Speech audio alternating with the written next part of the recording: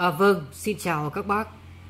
À, hôm nay em xin giới thiệu tới các bác một chiếc đầu DVD tích hợp ổ cứng thuộc phân khúc cao cấp của hãng Toshiba. À, chiếc này có tên mã là Vadia RDX8 À, ờ, một trong những uh, chiếc uh, làm nên tên tuổi của hãng này. Tất cả những uh, dân chơi cứng tại Việt Nam khi uh, nghe nói đến những cái con uh, RD dòng X là biết nó ở phân khúc nào rồi. Ở model RD X8 thì ở Việt Nam cũng rất ít người được sở hữu nó. Đơn giản bởi vì cái giá xuất xưởng của nó khá là cao và nó gần như nằm ngoài tầm với của giới chơi bình dân tại Việt Nam. Uh, trước khi đi soi ruột gan và phân tích những thành phần linh kiện có liên quan thì em xin mời các bác chúng ta ngó qua về thông số. Các bác thông cảm em hôm nay quay hơi sớm ở trong điều kiện là ngoài đường xe cộ chạy quá nhiều nó sẽ gây ra rất nhiều tiếng ồn. Toshiba RDX8 sản xuất năm 2009 là đầu DVD tích hợp. Trước này có cái giá uh, xuất xưởng trước thuế là 140.000 yên. Tức là nó trên 30 triệu Việt Nam đồng tỷ giá hiện tại. Cho đến thời điểm này thì chiếc RDX8 vẫn rất có giá. Ở trên trang uh, bán lẻ Amazon của Nhật Bản đang giao bán một chiếc cũ với giá là 24.980 yên. Nó vào khoảng ờ, trên 5,4 triệu Việt Nam đồng tỷ giá hiện tại. Giá chúng nó bán ra chưa bao gồm phí ship về Việt Nam. Nếu mà về tới Việt Nam thì chắc cũng phải vào tầm 6 triệu. Dòng này thì cũng giống như những con Toshiba tích hợp ổ cứng khác Nó cho phép ghi đĩa DVD Và cũng cho phép ghi đĩa CD từ ổ cứng HDD ờ, Đồng thời là cho phép ghi vào ổ cứng HDD ổ cứng của chiếc này khá khá lớn đấy ạ. Dung lượng 1 TB cho phép ghi vào ổ cứng HDD từ những cái đường line in bên ngoài. Bên phần ờ, chip ờ, DAC bên video rất đáng nói. Nó sử dụng con chip 12 bit ở 297 MHz một cái thông số vô cùng ấn tượng vào thời điểm năm à, 2009 Đồng thời là nó có cái mạch chỉnh sửa hình ảnh độc quyền của Toshiba. Cái này gọi là XDE. Ờ, công suất HDMI 1080p 24 khung hình trên giây và chiếc này xuất hình ảnh rất đẹp. Bên phần chip uh, audio còn đình đám hơn nữa.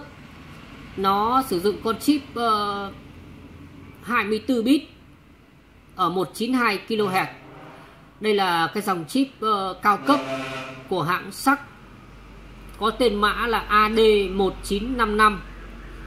Hãng sắc chip uh, thương hiệu sắc là của cái uh, hãng an Analog Davis. Một cái điểm cũng tuyệt hay nhưng mà chúng ta thì lại không có cái phụ kiện này. Đó là nó hỗ trợ uh, cổng USB Bluetooth ở ngay phía trước mặt. Có nghĩa là gì? Có nghĩa là hãng sẽ bán riêng một cái USB Bluetooth để cho dân chơi cắm ờ, cái ờ, ngõ USB ngay phía trước. Và ở bên trong ờ, phần setup nó có riêng cái phần cài đặt cho cái khoản Bluetooth này. À, khi ờ, cái đầu đĩa kết nối với cái USB Bluetooth này xong xuôi thì cái USB Bluetooth lại kết nối tiếp với cái điện thoại của chúng ta. Và như vậy là chúng ta có thể phát những cái file media trực tiếp từ điện thoại thông qua cái cổng USB này đặc biệt là có thể phát được cả hình ảnh lẫn âm thanh. Có nghĩa là phát được cả video qua cái đường này. Ờ, em cũng uh, cố gắng tìm cái USB Bluetooth của Toshiba nhưng hiện tại chưa tìm được. Về kích thước nó rộng 43,1 cao 7,2 và sâu 33,9 cm nặng 5,6 kg công suất tiêu thụ nguồn là 55W điện áp sử dụng 100V made in ở đâu chưa rõ. Cứ cho là chai nở đi cho nó nhẹ lòng. Là một chiếc thuộc phân khúc cao cấp chắc chắn những đường sắt nó phải được mạ vàng. Và cũng giống như những con Toshiba khác chiếc này cho phép ghi xóa những chương trình trong ổ cứng HDD khá là dễ dàng. Ở trong đêm hôm qua khi uh, ờ, em ờ, cho lên chiếc ờ, Toshiba Z300 uh, ờ, các bác có thể thấy là cái chiếc Z300 đó về cái phần mặt trước uh, giống cái chiếc uh, RDX8 một cách cực đoan. Hay nói cách khác là thiết kế của chiếc Z300 là vay mượn cái thiết kế của chiếc RDX8 chiếc Z300 là một cái chiếc thuộc phân khúc tầm trung thôi còn đây là phân khúc cao cấp Nhìn thì ờ, mới ờ, liếc qua thì chúng nó giống nhau nhưng mà thằng ờ, Vadia RD X8 nó đẹp hơn nhiều. Mặt trước của nó cũng ờ, có những cái đường nét khá là khác biệt. Nó không phải là đen xì mà góc dưới nó có một cái khoảng màu nhạt hơn.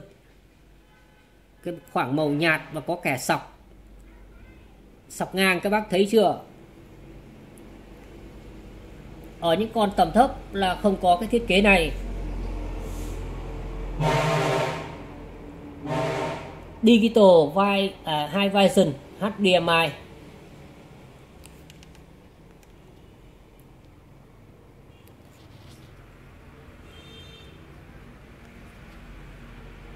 Dòng này là dòng ờ, Vadia.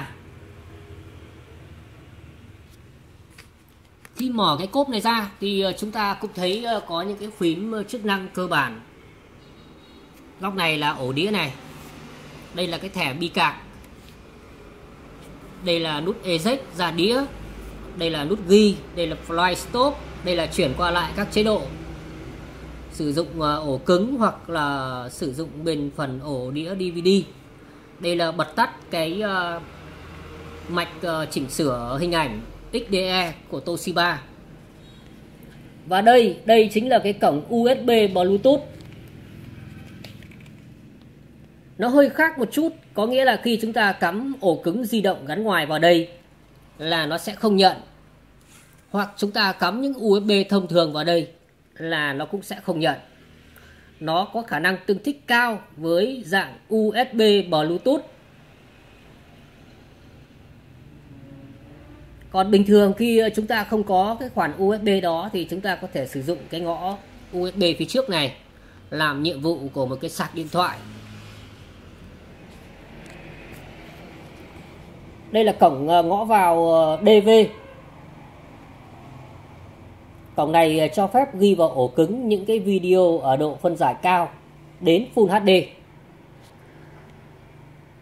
đây là đường ờ, bông sen line 2 vào và đây là cổng S vào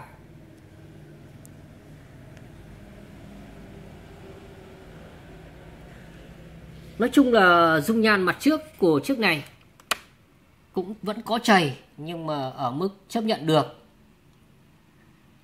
Đồ hàng bãi mà được những cái con như thế này em nói với các bác là hiếm đấy ạ, không dễ mà có được đâu.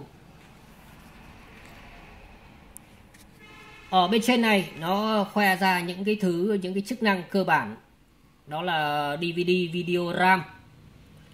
Ờ, uh, compact disc tất nhiên rồi chạy được đĩa CD xuất quang DTS digital out. Uh, mạch uh, Dolby digital stereo creator nhấn mạnh đến khả năng uh, trình diễn âm thanh stereo. Và đây cái NSV này là rất quan trọng này. Đây chính là cái tính năng phục vụ cho cái ngõ USB Bluetooth đấy ạ. Chơi video ở cái đường ờ, USB Bluetooth. Góc ngoài cùng là nó khoe sử dụng con chip ờ, DA của hãng SAC SAC processor analog David tức là được xử lý bằng chip sắc đến từ hãng analog David. Em tiếng Anh ngu lắm cứ dịch bừa đấy ạ. Ờ, đây là cái ổ ờ, DVD tất nhiên là nó phải đọc được cả đĩa CD rồi. Ngoài cái vấn đề đọc thì nó còn ghi được đĩa DVD và ghi được luôn cả đĩa CD như em đã từng nói với các bác tất cả những cái thiết bị mà vừa có khả năng phát và vừa có khả năng ghi thì cấu hình phần cứng của nó rất phức tạp. Ở đây là cái ổ cứng của hãng VWD với dung lượng ổ là 1 TB ờ, chúng ta sẽ đi soi từng thành phần một.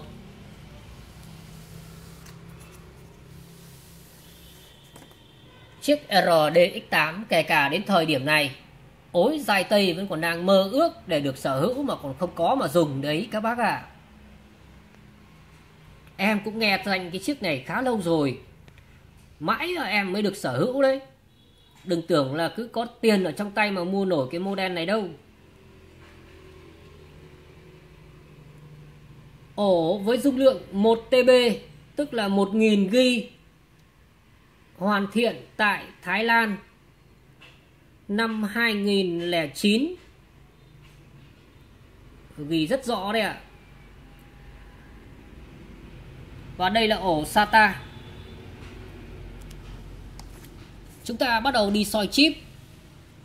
Đây là con chip vi xử lý. Con này nó đảm đương những cái tác vụ nặng, cho vậy là nó sẽ có một cái tấm ờ, nhôm tản nhiệt đặt ngay ở trên lưng và đây đây là con chip đồ họa. Như vậy là chip vi xử lý và chip đồ họa tách rời cho khả năng uh, uh, xử lý nó chuyên biệt ra. Ngay cạnh đấy là những cái con RAM và những con chip khác có liên quan. Nói tóm lại là nó rất nhiều chip đeo mục kỉnh vào mà đếm chắc uh, từ sáng đến trưa không hết được chip đâu. Nằm sâu trong kia là con chip xuất HDMI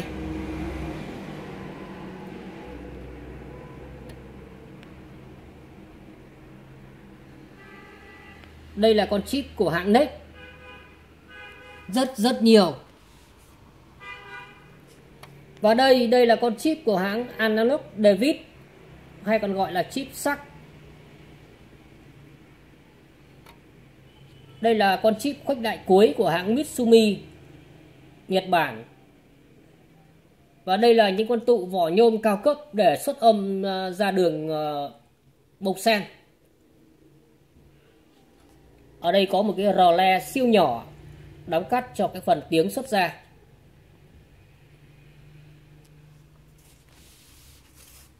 Và đây đây chính là con chip ờ, uh, DA bên uh, xử lý uh, bên phần uh, audio.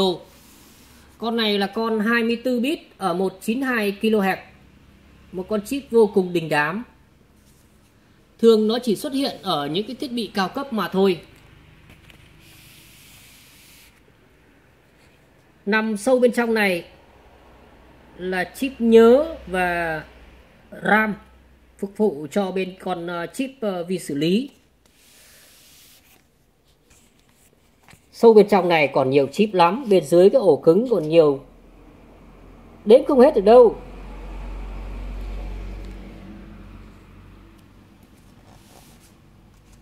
Như vậy là chúng ta đã sơ sơ soi được ờ, những cái đám gọi là chip. Về chất lượng nguyên vỉ là còn sạch sẽ còn đẹp. Ờ, đây là bộ nguồn của máy.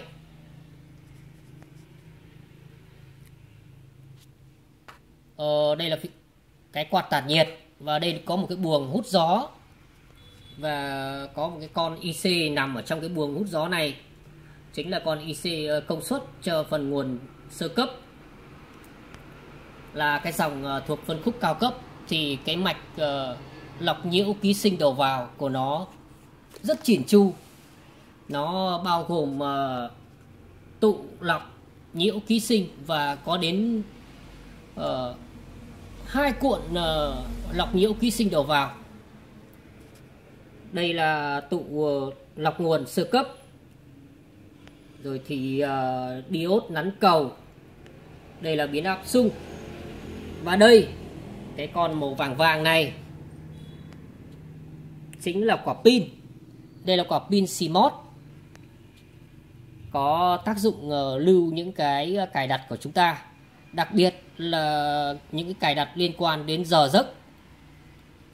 Thường thì ờ, những cái con hàng bãi như thế này thì người ta đã quá lâu rồi người ta không cắm điện thì quả pin nó sẽ uh, hết kiệt.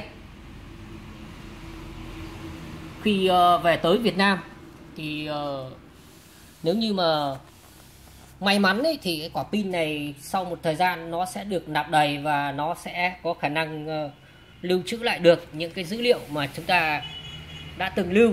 Còn nếu như không may mắn thì là khi ờ, chúng ta rút điện ra khoảng một ngày, cắm điện trở lại là phải cài đặt lại đồng hồ từ đầu.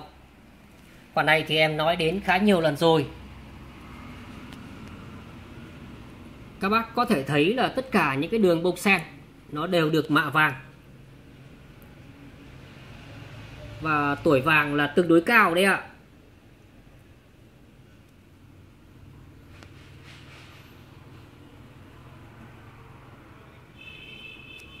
Những cái cọc này là để đấu vào xem truyền hình ờ, mặt đất và truyền hình vệ tinh.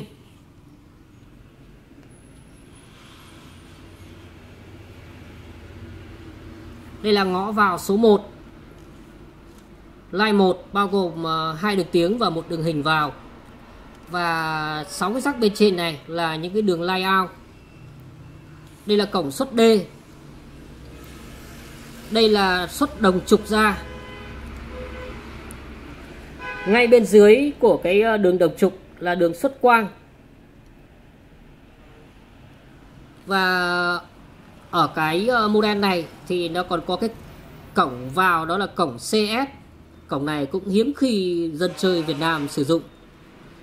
Ngoài ra thì nó còn có cả cổng D vào nữa. Rất hiếm khi nhìn thấy có cổng D vào và chỉ thấy có cổng D xuất ra. Nhưng mà ở cái chiếc này, ngoài cổng ờ, ngoài đường bông sen vào, chúng ta còn thấy có cổng CS vào, cổng D vào. Và chắc chắn là có ờ, cổng e-link để kết nối với ờ, máy quay video chất lượng cao. Đây là cổng xuất HDMI đạt độ phân giải Full HD 1080p đây là đường mạng LAN Internet. Đường này em chưa test.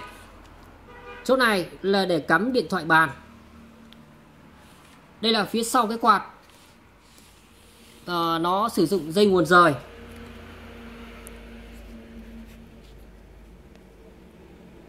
Đây là thông số Toshiba RDX8 sản xuất năm 2009 số series có cái đuôi là 2604 công suất tiêu thụ 55W điện áp sử dụng 100V Ờ, có một cái điểm khác biệt. Ngoài cái yếu tố là mạ vàng cho những cái đường bông sen, thì toàn bộ cái miếng đít phía sau, miếng này là được hãng làm bằng inox inox xịn sò. Thường thì những cái con không phải thuộc phân khúc cao cấp thì sẽ được làm bằng kẽm thôi. Nhưng mà riêng con này là miếng phía sau này làm bằng inox.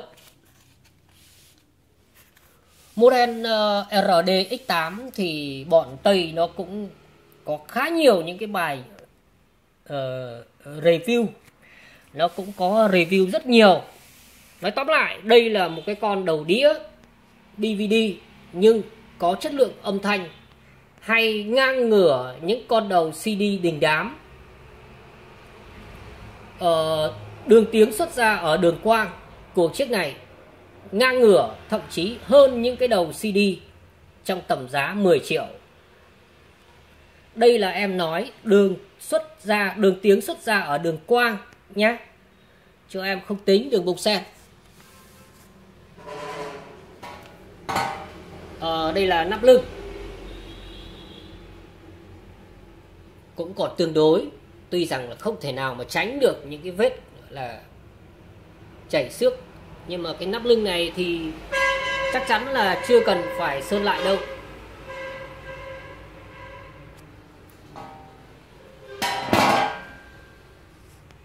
Bởi vì nó còn rất ổn.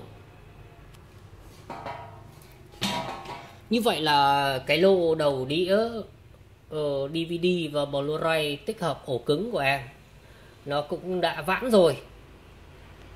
Ờ, uh, chiếc này thì em chọn đến ờ, lúc ờ, gần cuối lô thì em mới cho lên. Đơn giản thôi bởi vì là khi mà em mà cho lên từ sớm ấy là người mua là sẽ có cái tâm lý là sẽ chờ đợi những cái con có cấu hình tương đương con này để mua. Thế thì uh, những cái con mà thuộc cái cấu hình tầm thấp hơn thì người ta sẽ không mua.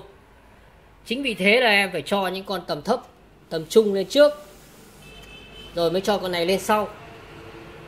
Nhưng là buôn bán bao nhiêu năm nói thật với các bác là cũng có được những cái thứ kinh nghiệm như vậy nó cũng là xương máu đấy ạ. À. giá thì không hề rẻ. Vì nó là một thiết bị thuộc phân khúc cao cấp. Và trong đêm nay em sẽ có video test đàng hoàng. Mong các bác chú ý theo dõi. À vâng, bây giờ anh em chúng ta sẽ bước vào những cái bản test trên chiếc Toshiba Vadia RDX8. ờ, Video của ngày hôm nay cũng sẽ vẫn dài như mọi bận vào khoảng trên dưới 40 phút. Ờ, Em đã rút điện cái đầu này ra rồi và bây giờ em sẽ đi cắm lại để các bác dễ mường tượng cái quá trình chuẩn bị cho khởi động. Và khởi động lên nó hết chừng bao nhiêu phút ờ, đôi khi có những thứ nó thuộc về tiểu tiết nhưng cũng rất quan trọng.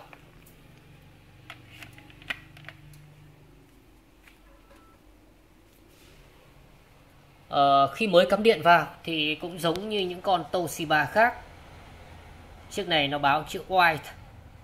Ý nó bảo là chúng ta chờ.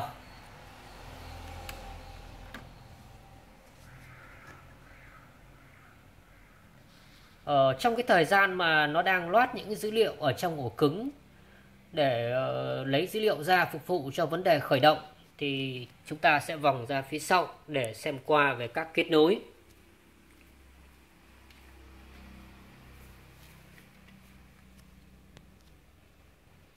Uh, các bác có thể thấy là em đang uh, đưa tín hiệu vào cái đường line 1 nằm bên dưới em đang cắm cái điện thoại vào đây. Để ờ, một lát nữa anh em chúng ta chuẩn bị ghi thử vào ổ cứng. Và đây đây là đường xuất HDMI em ờ, đưa lên cái màn hình kiểm tra nằm ngay phía trên. Và đây đây là đường xuất optical out. Xuất quang ra. À, em đưa xuống cái âm ly nằm phía dưới. Nói chung là tương đối là đơn giản. Và để cho tương xứng ờ, với cái đầu đĩa này thì em quyết định đầu tư cho nó một cái sợi dây nguồn hàng bãi cao cấp. Đây là sợi dây uh, có uh, nam châm bọc sung chống nhiễu ở ngay đầu phích cắm. Dây xịn hàng bãi và dài đến tận 4 mét. Chỉ có những model nào thuộc phân khúc cao cấp thì em mới cho theo cái dây nguồn này mà thôi vì giá của dây nguồn không hề rẻ. Vâng, cái ờ, quá trình chuẩn bị cho khởi động đã xong. Và ơn rồi là ờ, quả pin CMOS nó vẫn còn điện và nó vẫn lưu được thời gian thực. Thời gian mà em đã từng uh, lưu trước đó. Bây giờ chính xác là 18 giờ 55 phút à, chúng ta có thể ấn nút mở nguồn được rồi. Khi ấn nút mở nguồn nó tiếp tục hiện chữ white. Chúng ta lại tiếp tục phải chờ. Trong khoảng thời gian này chúng ta chưa thể bấm được bất cứ nút nào cả. Công việc là chờ đợi. Ờ, chắc là cũng có khá nhiều bác đang xem cái video này uh, em chỉ uh, muốn nói đúng một câu thôi. Đây là một cái món hết sức đáng chơi và nó rất xứng đáng với đồng tiền bỏ ra đấy ạ à, cái quá trình uh, chuẩn bị à quá trình khởi động coi như đã hoàn tất khi khởi động xong thì uh, nó hiện một cái menu uh, menu dạng giao diện uh, gọi là menu nhanh ở góc bên trái màn hình. Để thoát khỏi cái bảng menu này chúng ta ấn nút exit. Ờ, bây giờ thì ờ, em sẽ test một cái đĩa CD các bác thông cảm cái điện thoại của em đôi khi nó bị out nét.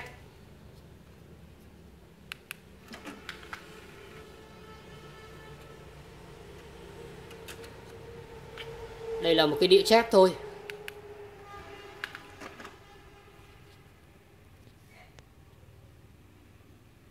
Ờ, đang trong quá trình loát đĩa. Trên ờ, màn hình ờ, góc phải bên trên hiện cái dòng chữ xin chờ trong giây lát.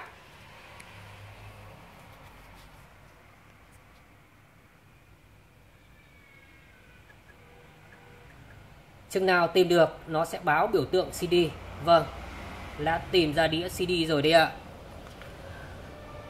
Ờ, để chạy đĩa CD hiện tại là cái đầu nó đang mặc định, mặc định nó nhảy về cái uh, trạng thái sử dụng uh, ổ cứng HDD để sử dụng CD thì chúng ta ấn nút CH trừ. Cũng giống như tất cả những cái con uh, Toshiba mà em cho lên. Nó sẽ chuyển về cái uh, mục uh, sử dụng bên ổ DVD bây giờ chúng ta ấn play là chạy thôi ạ. à.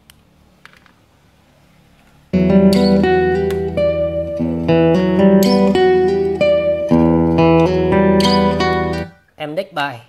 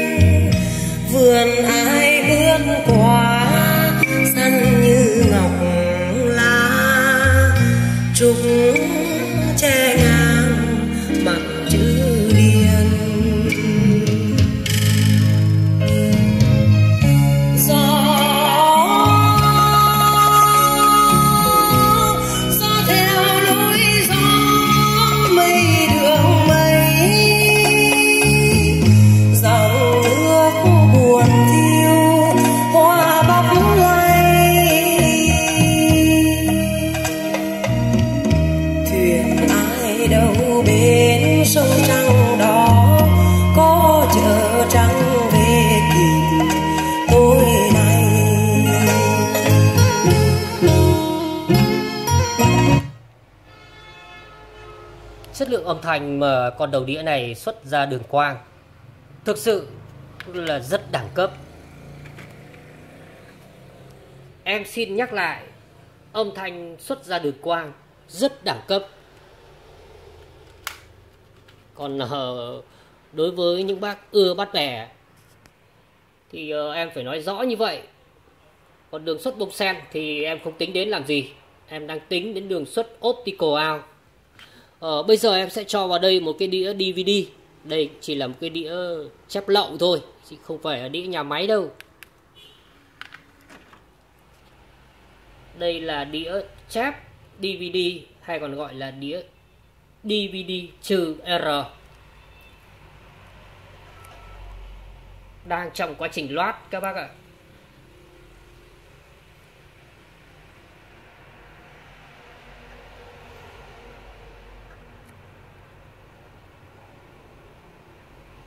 Đã tìm được đĩa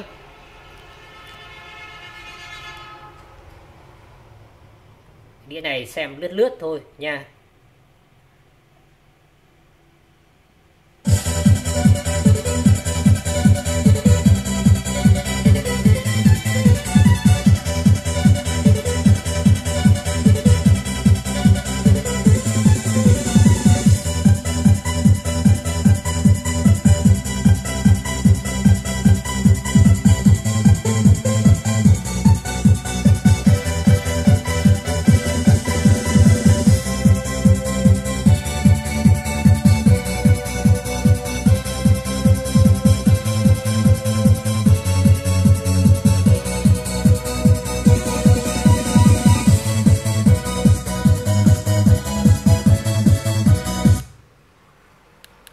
Đây là một cái đĩa chép lậu và chất lượng hình ảnh chỉ đạt đến VGA ờ, nhưng mà các bác hẳn là thấy cái sức mạnh của cái uh, mạch chỉnh sửa hình ảnh của thằng Toshiba đó chính là cái mạch XDE đây ạ. Nó tự động chỉnh sửa hình ảnh lên một cái cấp độ cao hơn. Do vậy ờ, những cái đĩa mà ở độ phân giải kém khi cho vào cái đầu đĩa này nó cũng đều đẹp hơn một chút. À, bây giờ thì anh em chúng ta sẽ chuyển đến cái mục uh, sử dụng ổ cứng HDD à,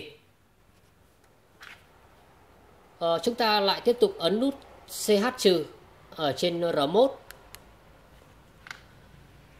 Nó sẽ nhảy về trạng thái sử dụng ổ cứng HDD để kiểm tra những cái file ở trong ổ cứng HDD chúng ta ấn nút CH cộng.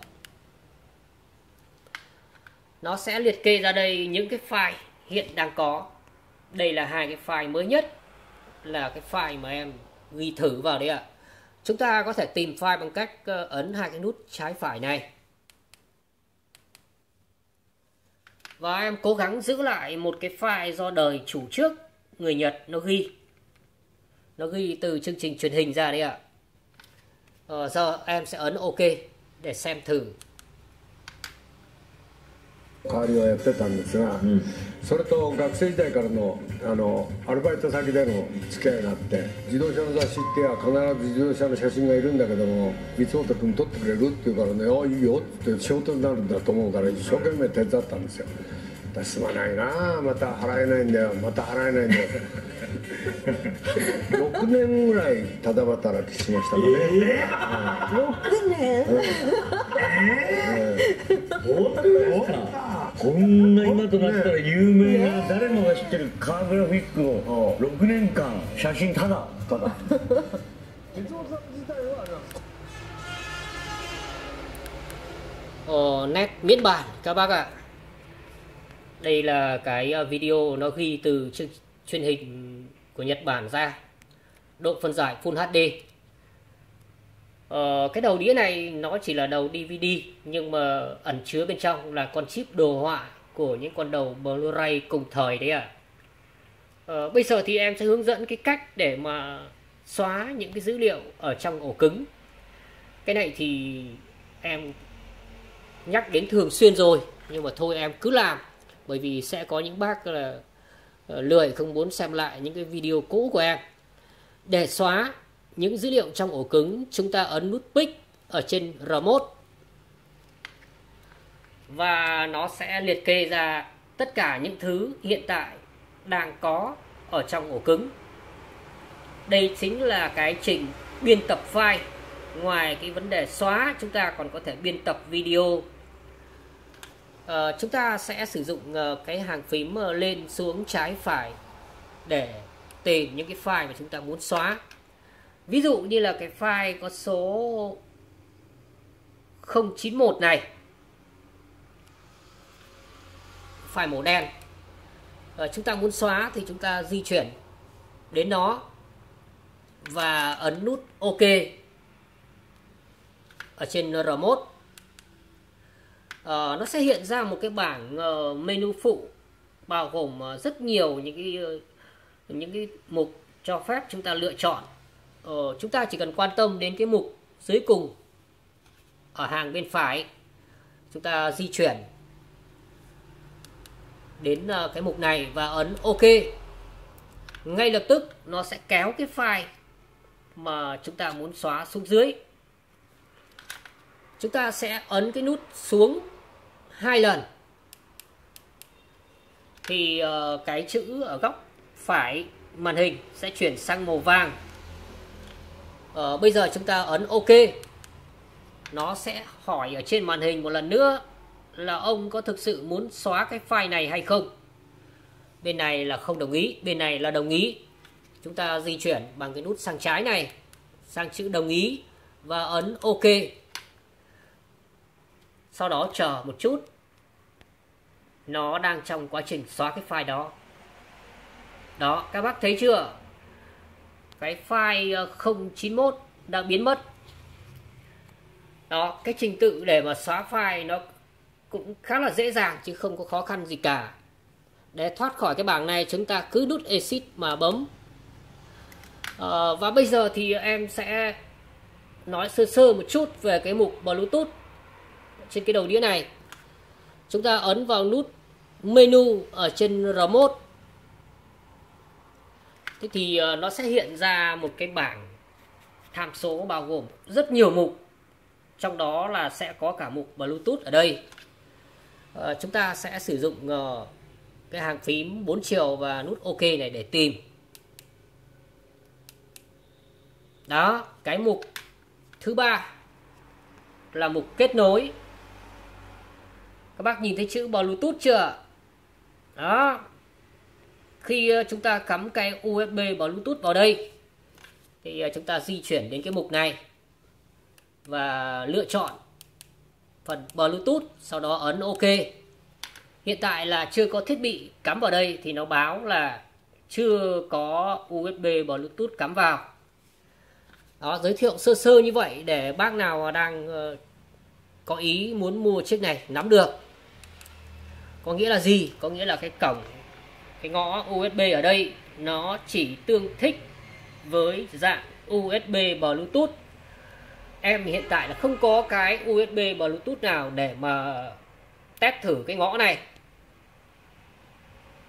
Do vậy là không biết là nó có tương thích với đồ của Trung Quốc hay không, hay là nó chỉ tương thích với cả USB của hãng, chính hãng Toshiba à, bây giờ thì chúng ta sẽ ghi thử một đoạn vào trong ổ cứng. Trình tự thì cũng giống hệt những cái con mà chúng ta ở những con Toshiba mà em đã từng cho lên.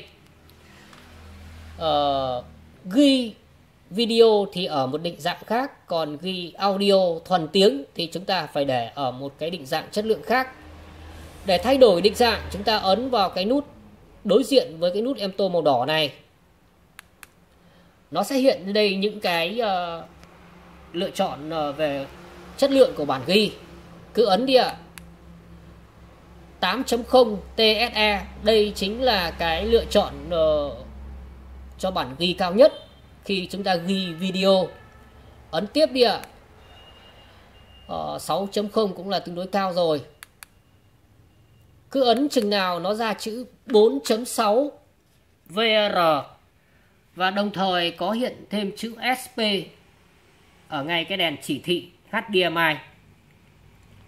Đây là cái lựa chọn chất lượng cao nhất cho những cái bản ghi audio. Uh, cho phép ghi uh, những cái uh, file audio ở cái định dạng nhạc cao nhất là nhạc lossless Ờ, bây giờ chúng ta sẽ ghi thử một đoạn vào ổ cứng. Volume em sẽ để một mức. Ờ, và vẫn sử dụng ờ, cái điện thoại này làm nguồn phát và vẫn là bài hát cũ cho nó khách quan. Xin mời các bác đeo tai phone vào để ờ, nghe so sánh giữa cái nguồn nhạc gốc và sau khi ghi em sẽ phát lại từ ổ cứng để coi là cái uh, chất lượng nó có lệch nhau hay không để ghi chúng ta ấn vào cái nút mà em tô màu đỏ ở trên remote lúc nào không muốn ghi thì ấn nút stop. Đơn giản vậy thôi ạ. À. giờ chúng ta sẽ tiến hành ghi thử.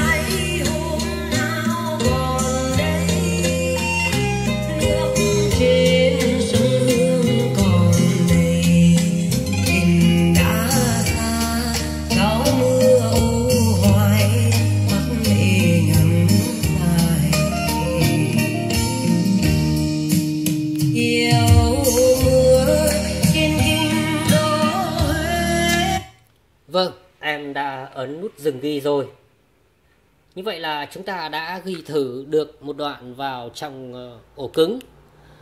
Uh, giờ thì uh, em sẽ vòng ra phía sau để rút cái điện thoại này ra cho nó khách quan. Không có nhiều bác nghĩ là chắc dê nó đã ghi được. Nhạc có khi vẫn phát từ cái điện thoại qua. Cứ rút nó ra.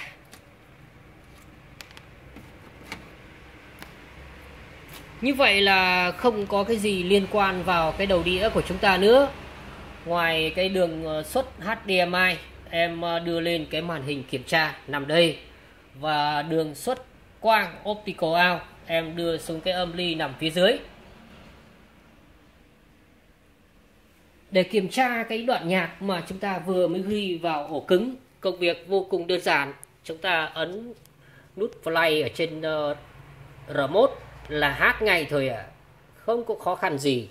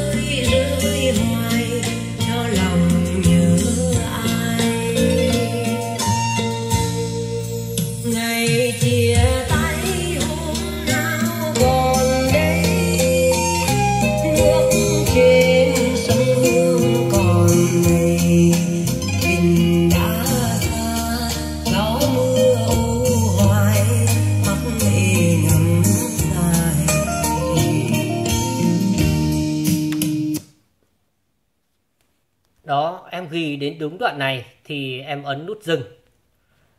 Các bác có thể thấy ngay là chất lượng của bản ghi so với bản gốc là tương đương. Ờ, đây cũng chính là một trong những cái gọi là chất lượng Nhật Bản.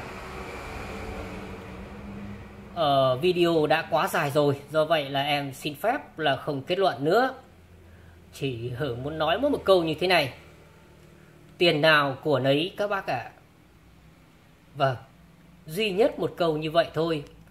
Bác nào có nhu cầu muốn sở hữu chiếc này thì liên hệ trực tiếp với em theo số điện thoại em để ở chú thích video. Xin cảm ơn tất cả các bác đã dành thời gian cho video này.